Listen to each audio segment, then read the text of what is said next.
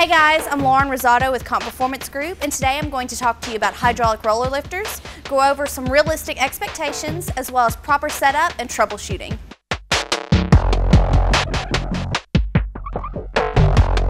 First off, as with many performance parts, hydraulic roller lifters are designed to allow more aggressive valve train movement. Most times, if you're installing performance lifters, you're also installing a more aggressive cam. Performance cams are designed for performance, and sometimes that requires compromises in NVH levels.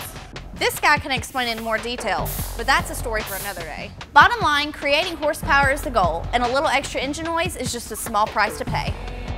To minimize excessive valve train noise, proper prep and installation is necessary. When preparing to install your lifters, visually inspect them to make sure they weren't damaged in shipping. While not mandatory, it's a good idea to rinse the lifters in clean mineral spirits.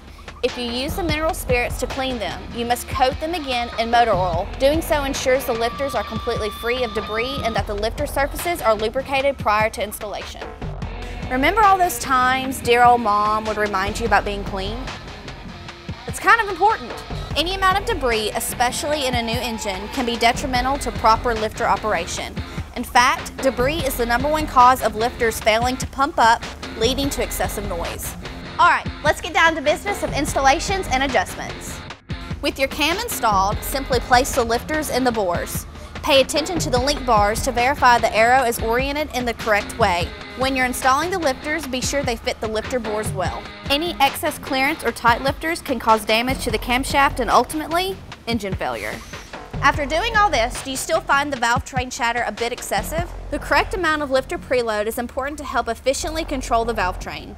Insufficient preload will cause valve train noise, while too much preload may damage the hydraulics of the lifter, cause low manifold vacuum, and rob power.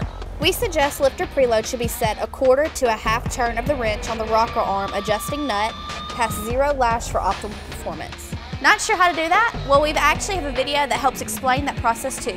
Just look for the link in the description below.